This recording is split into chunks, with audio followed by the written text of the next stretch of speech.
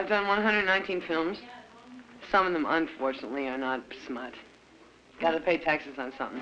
It's sort of a uh, surrealistic look, I guess, at myself and my girlfriend and the way we look at the X-rated film business and uh, our relationship with each other. I love being in front of the camera. I love to have sex in front of the camera. That one moment. That one moment. I mean, the first time I saw her, she was. I'm on this film. It's uh, I'm hired. It's called Sulka's Wedding, and I was cast as a little surfer girl, and she was cast as the hard older woman. Can you imagine? The camera crew and, and the director, and it was wonderful.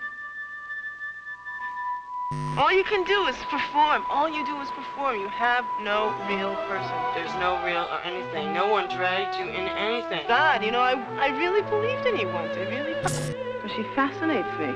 She's like a snake. Very fascinating, this woman.